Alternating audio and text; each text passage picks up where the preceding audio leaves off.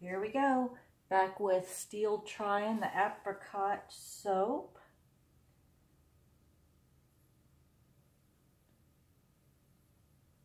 Oh yeah, beautiful.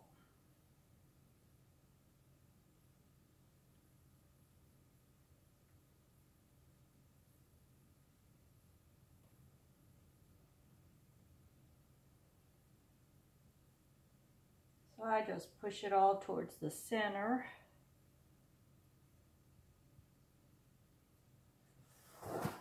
Flip it around.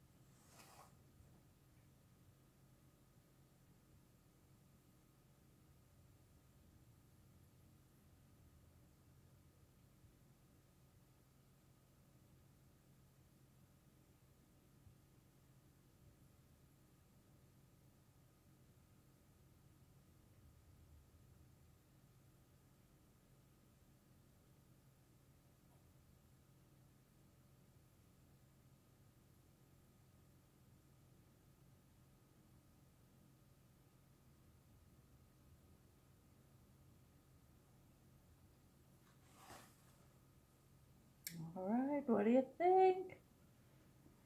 Mmm, that smells so good. If you love apricot, you will love this. I did spend some time tweaking the formula so I could make one that was okay for her allergies.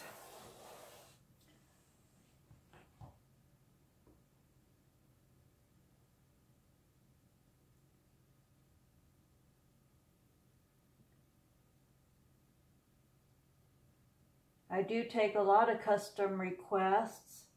I've got several customers that are allergic to coconut oil, so I've had to create soap for them.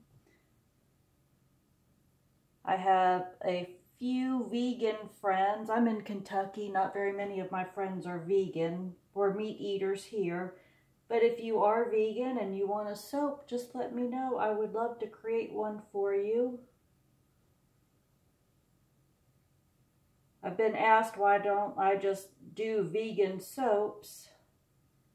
And there are so many skin benefits of using tallow in soap. It makes for a nice hard bar of soap that lasts longer. If you've got a soft bar of soap, it'll be, it won't last very long in the shower. You'll be replacing that soap every couple of weeks whereas one made with tallow, I use one small bar of soap and it lasts me a month. So anything I can do to make my bars of soap harder, I really try to. This one's going to be a little too soupy to decorate yet. Um, if you have objects, objections to using palm oil, palm oil makes a bar of soap lather. It also makes it harder.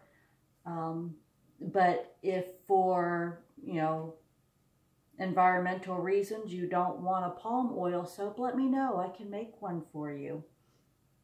I just use the things that I know make a good bar of soap.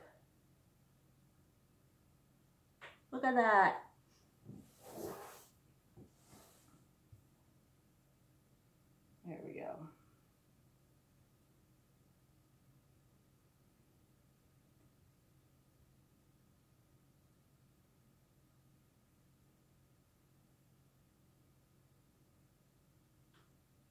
Hmm. This one got warm.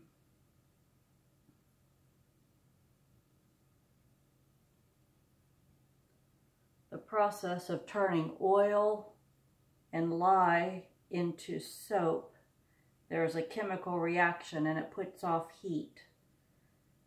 So I run the risk of waiting too long to texture my tops and it's set, or I start too early and the soap is too warm. So we'll give that one a few minutes. And it will look just like this one. All right, guys, I'll talk to you later.